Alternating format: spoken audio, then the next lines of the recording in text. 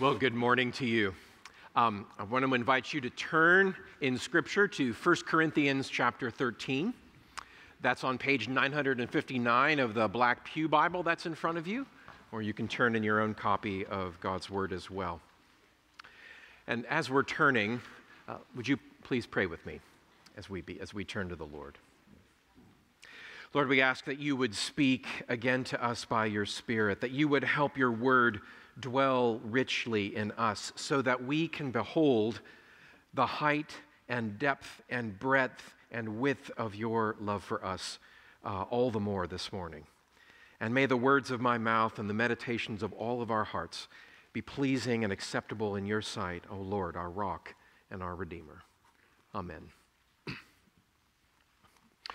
The Christian poet Christina Rossetti wrote a famous poem called love came down at Christmas. We hear a lot of talk of love like that around Christmas time, but it's really easy for love and talk about love at Christmas to be lost in a lot of sentimental feelings that don't seem to have much shape or definition. Now, we might enjoy the typical Hallmark uh, Christmas story. You know, the one that goes like an accomplished woman who lives in the big city um, leaves her stressful, unfulfilling life to return to her small rural hometown where she gets reacquainted and falls in love with the guy she knew from high school who's dressed in flannel uh, and who also happens to be fabulously rich. Um, I, there's nothing wrong with feel good stories like that. I'm not dissing Hallmark movies. Um, but I do want to ask does that kind of love really define the love of Christmas? No, I think God defines love much more fully than that. And in the first coming of Jesus, he has shown us true love that is stronger and more solid than what our world often thinks about love. This is love that meets and challenges and overcomes the obstacles that destroy love in us and in our world. So let's read from one of the most famous descriptions of love here in 1 Corinthians 13, starting in verse 4. Love is patient and kind. Love does not envy or boast. It is not arrogant or rude. It does not insist on its own way.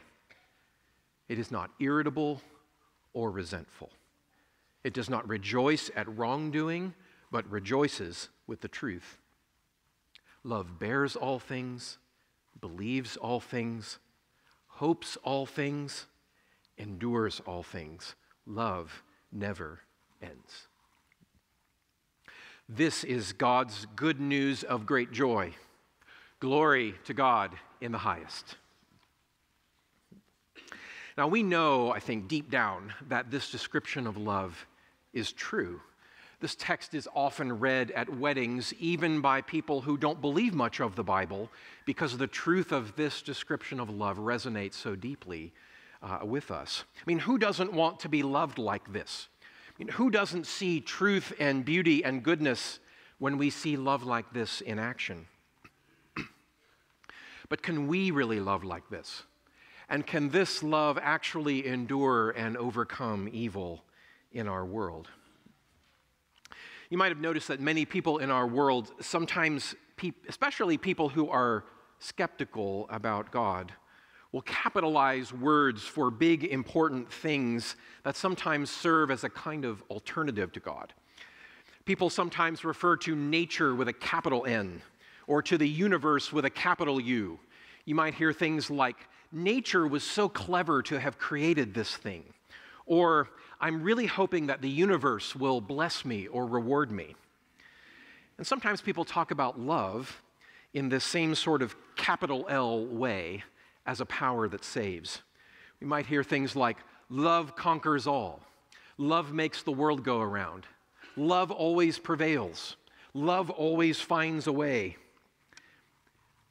But is there such a thing as love in a capital L way that has that kind of power?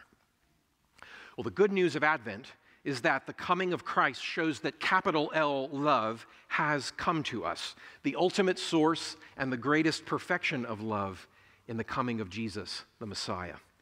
And we can see that God is this ultimate capital L love because he meets and he exceeds the definition of love here in 1 Corinthians 13. First, I want us to see that the coming of Jesus shows us that God's love is patient and kind. As Paul writes in verse 4, love is patient and kind. And the season of Advent reminds us that God's love comes to us with patience and with kindness. From the creation to the first coming of Jesus, God had revealed himself to humanity in numerous ways for many centuries. And yet, humanity turned away from God again and again and again to degrade and destroy themselves in sin and misery. And even when God appealed to his people Israel and gave them even greater and clearer revelation of who he was through prophet after prophet, the majority refused to listen and refused to follow, refused to honor him, just like all the other peoples. Now, when someone who we have loved ignores us, insults us, walks away from us over and over and over, you and I find it very easy to quickly give up trying to love at all. But God's love, God's love is patient. And after all of that rejection, he did not give up. He pursued us again and again with, in fact, the greatest gift of love by coming even nearer to us, by coming to us and being one with us in the humanity of Jesus. And God's love came to us in Jesus also, not only in a patient way, but in a kind way. He moved toward us with a humble, human kind of manner so that we could clearly see and approach Him without fear because his kindness shows us that he can be trusted. And because God's love in Jesus is kind, it does not look or sound at all like the negatives that Paul lists out for us in verses 4 and 5, which are the sinful ways of responding to insult and injustice. Unlike many heroes in our world, God's love in Jesus is not boastful. He is not irritable or resentful in a way that makes him quick to act in some blaze of anger to defend himself simply because he's attacked. His love is not arrogant or rude, treating others with contempt and returning insult for insult. And we see here how God's love is the ultimate capital L love because he actually goes far beyond what he even requires from us here. I mean, if anyone has a right to boast, it is the infinite God it is the creator of all things, the living word who upholds all things by his power, the God who is the sum and the source of all goodness and beauty. If God were to declare his own praises, that would not be boasting, and that would not be arrogant because it would be simply true. And it is his right, and it is our greatest good to acknowledge that and to depend on him. But he came to us in a small and humble place to reveal his hidden glory gradually in acts of love, to win our minds and hearts by his compassion and grace. And even though it is his perfect right to demand that we respect and obey him, he did not insist on his own way. In the sense that he did not come to us first in Jesus in final judgment to force all of us to submit immediately. He came to live and serve quietly, establishing his kingdom and his salvation and his rule in a small way, in a slow way, like a tiny seed that gradually grows to a huge size. He is a patient God who allows time for us to see time for us to consider, time for us to work through our caution and our confusion and our stumbling inconsistency, time for us to repent in the fullness of time in our lives as He works all things together to enable us to know Him and to love Him. So if you fear today that God has given up on you, if turn to Him because His love for you is very, very patient. If you fear God's frustration and fury with you, turn to Him because his love for you is kind. Advent shows us that capital L love has in fact come to us in the patience and kindness of Jesus, and there is none greater. Now, there's a second pair of contrasts in these verses that shows us another angle on Advent. The coming of Jesus shows us that God, God's love rejoices in the truth. This is another characteristic of love. Look at verse 6. Love does not rejoice at wrongdoing, but rejoices with the truth. Now, in the context of this chapter, Paul is addressing how love works in our relationships with one another. And his point is that love for others requires rejoicing in the goodness in others when they live according to the truth, and not rejoicing in what is wrong or evil. Good friends who love you do not encourage you to do what is wrong. Rather, good friends who love you see what is good in you and what good you can do. And they encourage you and help you in doing good so that the good in you that's potential can become reality. And in Advent, we see that this is exactly how God loves us. For in the coming of Jesus, God shows us that all of our evil and sin cannot undo the truth that God made us good by making us in his own image. And in spite of the corruption of every aspect of our being, sin cannot extinguish the truth that there is a deep goodness in being a human, me, human being made in the image and likeness of God. And we ultimately know this because in Jesus, God Himself takes on a human nature to display the perfected form of that truth. In Jesus, we see the truth of God's purpose for humanity, for he is the second Adam, a new creation, uncorrupted. In Jesus, a perfect man is born to live perfectly according to the truth, and heaven and earth rejoice. And again, we see that God's love is the ultimate capital L love because he not merely rejoices in the truth about us, but He is the capital T truth that makes this truth to be true for us.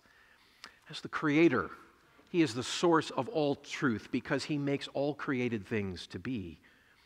And as the Savior, He lives the full truth of being God's image in human form perfectly. And so he can do whatever is needed to deliver us from the darkness of sin's falsehood and lies and corruption. He came to give his life for us in death and to pour his resurrection life into us so that he can restore us by grace to the truth of who we were created to be. So if you think this morning that your life has no worth, if you think that your pain and suffering means that your life is not worth the trouble, if you think that there is nothing about your life that's worth rejoicing about, then fix your eyes on Jesus, the God man, the human being who shows you in the flesh that God delights in you because he delights in his own image. If you entrust yourself to Christ, if you will believe in the truth revealed in Christ and trust and seek his grace and love to be in you and with you and to change you, then you can know and experience what we hear every week in our liturgy that God rejoices over you as beloved daughters and sons. Advent shows us, capital L, love, has come to us rejoicing in the truth that is Jesus, and there is none greater. Now, the last set of attributes of love here in 1 Corinthians 13 reveals a third aspect of Advent. The coming of Jesus shows us that God's love endures all things. Look at verses 7 and 8. Love bears all things, believes all things, hopes all things, endures all things. Love never ends. In Advent, we look back before Jesus' first coming to remember God's promises to send a Savior King and to remember the way that He has faithfully fulfilled all of those promises. And we see in that Old Testament history a record of love that bears and endures all things. God endured centuries of his own people walking away from him. He bore the sting of betrayal by the people he created and the people that he loved. As Israel broke his covenant again and again, it was to him like the sting of betrayal from his friends. It was like the pain of a spouse being unfaithful with other lovers, as we see in the prophet Hosea. It was like the ache of children rejecting his family and fatherhood to run away, far away, to their own destruction and danger. As he pleads in Isaiah 65 with them, I was ready, he says, to be sought by those who did not ask for me. I was ready to be found by those who did not seek me. I said, Here I am, here I am. I spread out my hands all the day to a rebellious people who walk in a way that is not good. And yet, he bore it all. He endured it all without abandoning his heart of love for his people, without abandoning his good purpose for them. So he came to us in Jesus, not only as evidence that his enduring love never ends, but to bear still more. Christ the man came and bore all the consequences of our sin and evil, all of it, to the dregs, enduring rejection and suffering all the way to the cross without sin and with perfect trust and with perfect love. His suffering for us was not merely a good example of human love, although it was that, but rather the ultimate capital L love. Because when mere humans love by bearing and enduring hardships with belief and hope, we can only do that by looking beyond ourselves for one who is stronger than we are to help us. We are looking beyond our circumstances for one who is powerful enough to deliver us. We're looking beyond ourselves to a horizon of light and hope to help us in the valley of darkness where we are. But the love that we celebrate in Advent is the coming of the one who is the salvation that we seek outside of ourselves. God is the love who bears us up so that we can bear all things in Him. He is the love who generates belief and hope so that we can believe and hope in Him. He is the love who endures in us and with us so that we can endure all things in Him. So, this Advent, cast your anxiety and your griefs and your burdens and your lament onto the strong shoulders of the God who bears all things and endures all things for your sake, so that we can love with His hope and His strength in the midst of all that is wrong in us and in our world that is broken. It doesn't matter how long you have stayed away. It does not matter how much wrong you have done. It does not matter how hypocritical or discouraged you may feel. He bears and endures all things for your sake, to give you His love again and again forever, so that you will look to Him to receive it again and again forever. That is His glory and delight to do, and it is your greatest good and joy and mine. So I close with a poem of a, the portion of a poem called The Divine Image by the 18th century English poet William Blake. I'm not quite sure that Blake meant this poem to refer to Jesus, but his words perhaps express more than he knew or believed because they wonderfully describe the capital L love that is Jesus himself.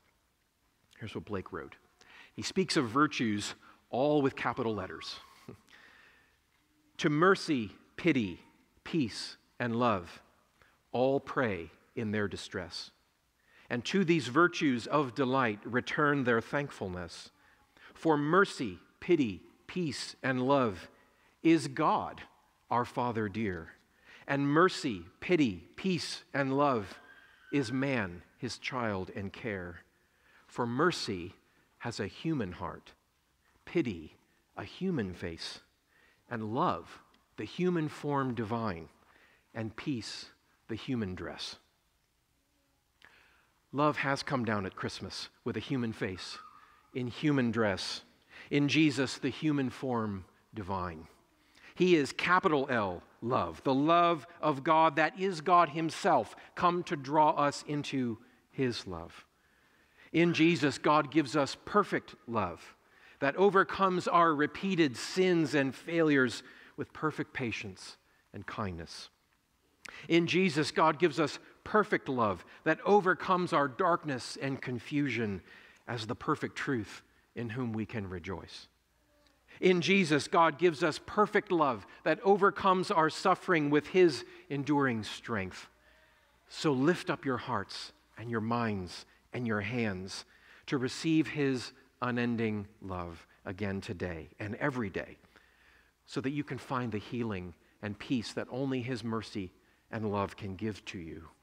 And pour His love into the lives of others around you as freely as you receive it with patience and kindness, rejoicing in the truth, bearing and enduring all things for His sake by the grace of His love. Would you pray with me? Our Lord, we thank you that your love for us is this wide and deep and long and strong and never ending. So we pray, Lord, that you would fill us with this love day after day so that we will be changed so that we can love you in response and that we can love others in the ways that you have loved us. Do that in us more and more for your great glory and for our great joy. We pray this in Jesus' strong name. Amen.